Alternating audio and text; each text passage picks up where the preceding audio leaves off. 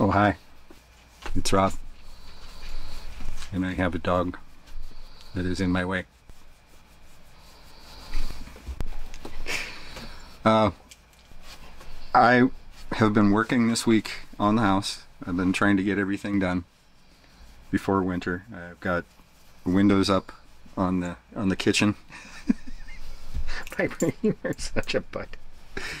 Uh, windows up on the kitchen. I got the door fixed finally, and it's taken me all week. Ah, let me try this. I'm just gonna go over here. All right. So it's taken me all week to get this stuff done, and I was going to try and get it all edited together and pumped out tonight. Uh, but it's a lot, and I am just beat from this week.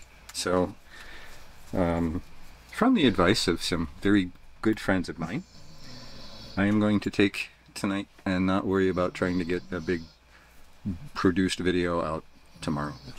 Get it out when it's when it's right, and you guys will get to see all of my mistakes because I made a few.